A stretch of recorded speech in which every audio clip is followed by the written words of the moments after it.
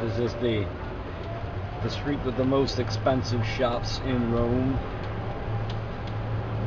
And at the end, you have what you call the Spanish Steps.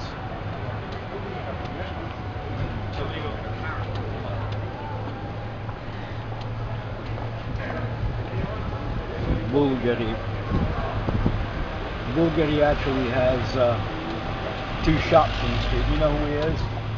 Probably the most famous uh, jeweler uh, in the world, together with Cartier and these people.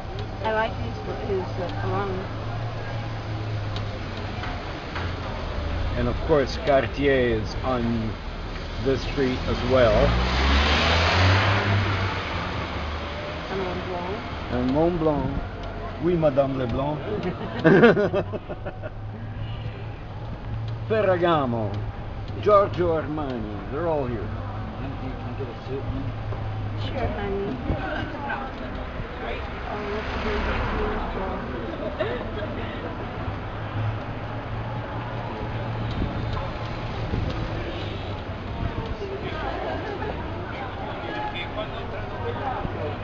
Gucci, Prada. And there's the steps. And those are the famous Spanish steps.